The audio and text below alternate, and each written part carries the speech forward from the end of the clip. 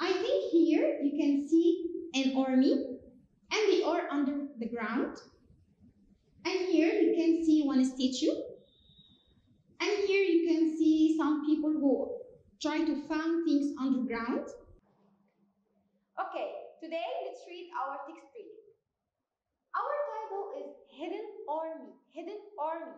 As you know, hidden means I can't see it. It's not easy to find. Okay?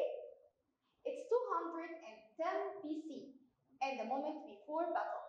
The Chinese Emperor's army is ready to charge.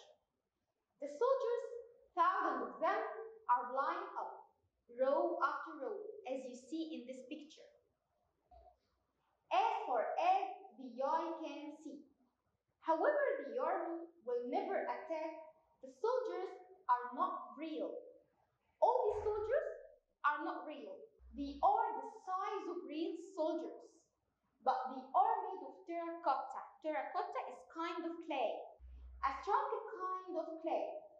They are more than 2,000 years old. Amazingly, no two soldiers are alive. No two soldiers are alive.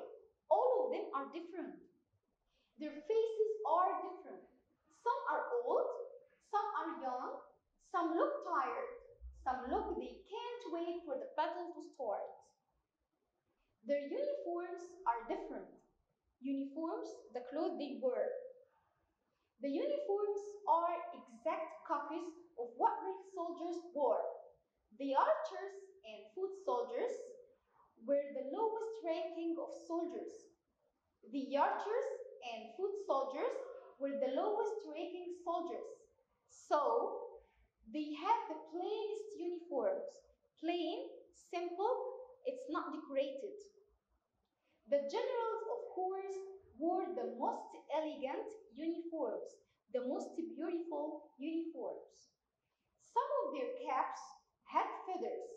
Sometimes their shoes turned up at the toes. Their armor had small iron rays that looked like fish scales. Fish scales. Here you see an image of a clay general. It shows how he looked 2,000 years ago. Here. Every single soldier in the emperor's army was painted with bright colors. So were the terracotta horses. Now, most of soldiers have only tiny traces of paint left.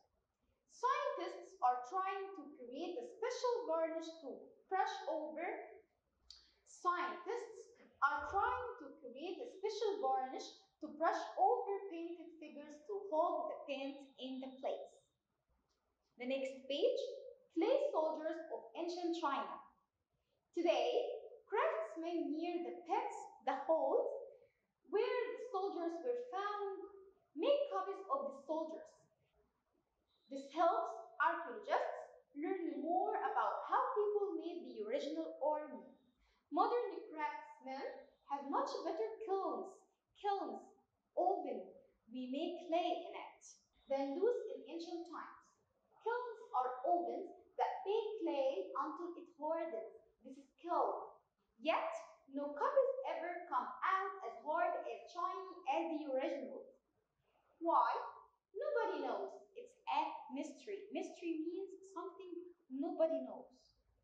After that, an even bigger mystery is what lies, what is inside the emperor's tomb. Nobody knows the answer because the tomb has never been opened. The Chinese government plans to keep it closed for now. We will not start until archaeologists are sure the tomb can be opened without damaging any of the treasure inside.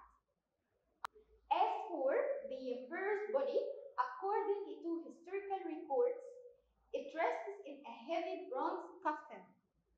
In ancient time, the custom was to dress the dead body of someone important in Chinese made from hundreds of pieces of thin jade. Jade. At the time, jade was more precious than gold. Last paragraph The emperor died when he was 49 years old. Three years after his death, peasants rose up against the empire. One of their leaders started a new royal family. Yet now, millions of people come to emperor's burial place. They visit the covered pits to see the clay soldiers. The emperor lives on the memory of all who see the amazing hidden army. Thank you for watching and see you next time.